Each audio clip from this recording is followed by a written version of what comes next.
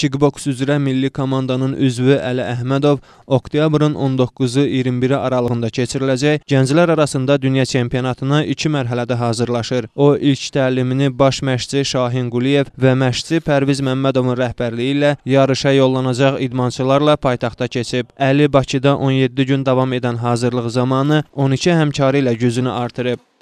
Bakıda milli komandanın tərkibində hazırlığım 17 gün davam etdi.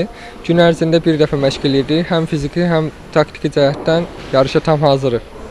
Hazırda idmançı dünya miqyaslı yarışın təlimini Lənkəranda davam etdirir. Millimizin üzvü hazırlığını milli komanda ilə keçdiyi təlim planına uyğun aparır. Cənublu idmançı burada isə məşqçi Yalçın Rızayevin məsləhətlərindən yararlanır. Əli Əhmədovun Lənkərandakı hazırlığı oktyabrın 14-nə kimi davam edəcək. İdmançının əsas məqsədi dünya çempionluğu tituluna yiyələnməkdir.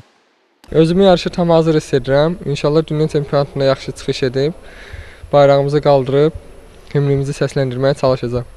Qeyd edək ki, idman karyerası ərzində 11 il karate-do ilə məşğul olmuş, son 4 ildə isə kickboksda özünü sınayan Əli Əhmədov ümumilikdə 230 döyüş keçirib ki, bunların da 143-ündə ilk yeri tutub. Onun aktivində 12 nokaut və 4 knockdown var. İdmançı dəfələrlə beynəlxalq yarışların qalibi olmaqla yanaşı, Avropa çempionatında da ölkəmizin himnini səsləndirməyi bacarıb. Elnur Ələkbərov, Hizran Şükürov, Lənkəran